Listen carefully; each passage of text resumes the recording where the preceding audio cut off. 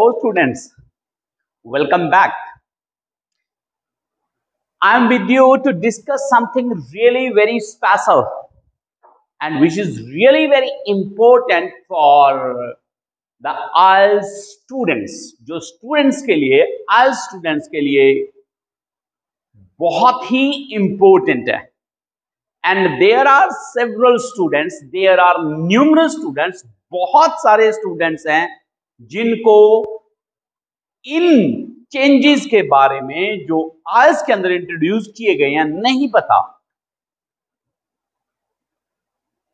and I will give you a good news about IELTS IELTS के बारे में मैं आपको एक गुड न्यूज़ दूँगा at the end of this video so stay tuned with me till the end of this video. As you know very well, that changes are a part of our life and uh, they are continuous. In the same way, there are certain changes in IELTS pattern. IELTS pattern के अंदर भी time time पर कुछ changes होती रहती हैं So I'm going to share with you those changes which have been introduced recently, जो recently introduce की गई है और बहुत सारे स्टूडेंट्स को उन चेंजेस के बारे में नहीं पता और after practicing in a particular way एक खास ढंग से प्रैक्टिस करने के बाद when they go to the real examination center they may find it a bit disturbing. वो चीज़ उन बच्चों को डिस्टर्बिंग लग सकती है। क्यों? Because when you are not prepared for something जब आप किसी चीज़ के लिए प्रिपेयर नहीं होते और वो अचानक हो जाए so it is quite natural that some of the students में पैनिक वो पैनिक हो सकते हैं, और उसका, उस स्टूडेंट्स के एग्ज़ाम के ऊपर बुरा असर पड़ सकता है। So without wasting any time let's start with the change number one in listening all the listening सारी की सारी listenings which are available in the market till date आज तक जितनी भी लिसनिंग्स मार्केट में उपलब्ध हैं। यूट्यूब पे जितनी भी लिसनिंग प्रैक्टिस टेस्ट हैं, उन सभी में एग्ज़ाम्पल है। जब फ़र्स्ट सेक्शन स्टार्ट होता है इंस्ट्रक्शंस के बाद उन सभी के अंदर एक एग्ज़ाम्पल दिया होता है एंड हर एक बच्चा उस एग्ज़ाम्पल को सुनता है। वेट्स पेशेंटली बड़े आराम से इंतज़ार करता है that then it will rebegin क्यों? Because he has practice in the same way जितनी भी प्रैक्टिस टेस्ट वो बच्चा करता है may be at home may be in any centre he practice with the same he और see practice with the same pattern and he expect the same in the final exam उसको पता है क्योंकि उसने बार बार वो चीज़ कर रखी है तो उसको लगता है कि ये एग्ज़ाम्पल वहाँ पर भी होगा। सो so, जब वो वहाँ पे नहीं होता ही और see the student may feel panicked so, first one is that there is no example in the real test. Listening में स्टार्ट होते ही आपको सीधे आंसर लिखने होंगे।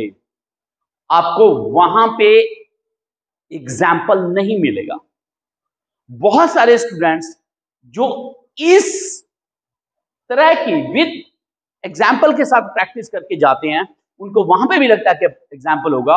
और वो इस तरह से बैठे होते हैं कि पहले वो एग्ज़ाम्पल बोलेगा, बाद में हम लिखना स्टार्ट कर देंगे। पर ऐसा नहीं होता और उसका सबसे बड़ा नुकसान ये होता है कि उस स्टूडेंट के एक या दो क्वेश्चन स्टार्टिंग वाले वो मिस हो सकते हैं। मिस हो सकते हैं। Possibility is there so this is the first change. I hope it's clear it means in the final test जब आप फाइनल एग्ज़ाम देने जाओगे, वहाँ पे आपको स्टार्टिंग में एग्ज़ाम्पल नहीं मिलेगा। You have to start answering from the very beginning this is the first change and you may be aware of it और you may not be aware of it हो सकता है आपको ये बात पहले हो और हो सकता है आपको ये बात पहले ना पता हो because there are several new students may not be aware. Okay, so second one. Second one is the sequence. Sequence. IELTS ने रिसेंटली अपने एग्ज़ाम का सीक्वेंस चेंज किया सीक्वेंस का क्या मतलब है सीक्वेंस का मतलब ये है कि पहले सबसे पहले लिसनिंग होती थी फाइनल में उसके बाद रीडिंग और एंड में राइटिंग ये सीक्वेंस था कुछ टाइम पहले तक।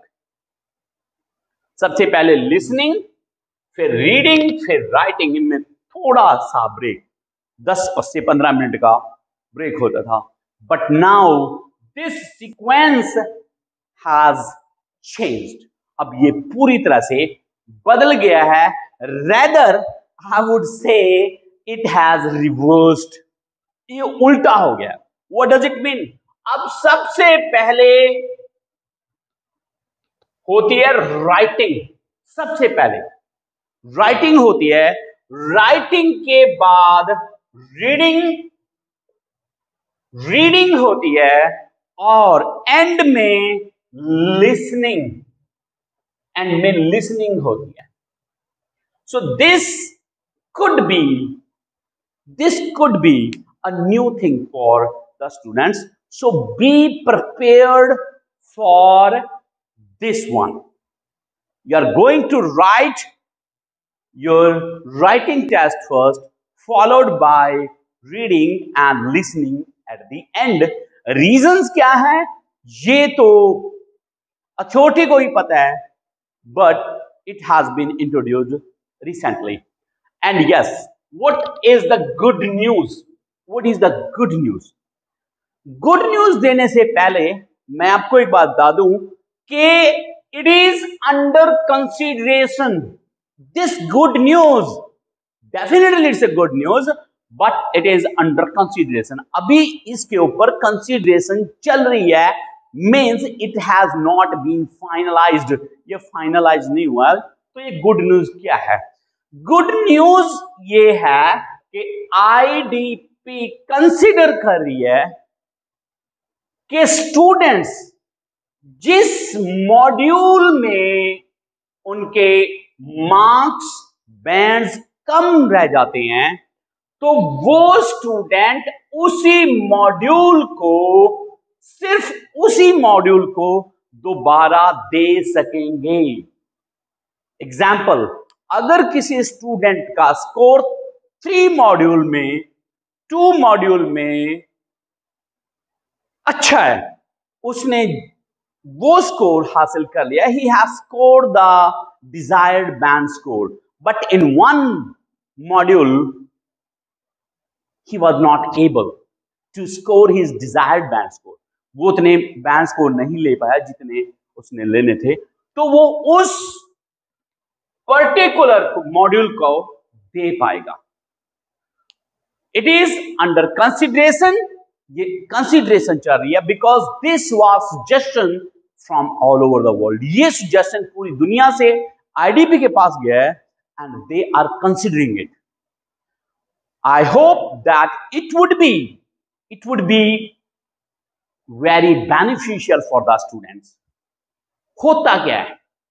बहुत सारे स्टूडेंट्स बहुत मेहनत करते हैं। एग्ज़ाम दिया, किसी भी एक मॉड्यूल में कम रह गए।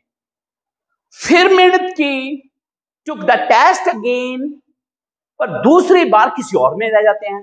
So students just feels at times frustrated कई बार स्टूडेंट्स इस चीज़ को लेके बहुत फ्रस्ट्रेट हो जाते हैं and many of them give the idea of taking test और कई तो आल्स एग्ज़ाम देने का आइडिया ही ड्रॉप कर देते हैं। So this is really a good news and I hope that it becomes a reality in the near future आने वाले दिनों में ये एक आय एक रियलिटी बन जाए. So it would be really very beneficial for the students who are not so good at English it may be really very helpful उसके बाद वो किसी एक मॉड्यूल जिसमें वो कमज़ोर है they would be able to take that particular module so I think that it would be really very beneficial but it is still under consideration So these are the certain changes and this is the good news. I hope that this video will help you to prepare for your IELTS exam in a better way. So thank you for staying with me till the end and don't forget to give it a thumbs up if you like it and also subscribe to this channel if you are new to it. Bye, see you later in the next video.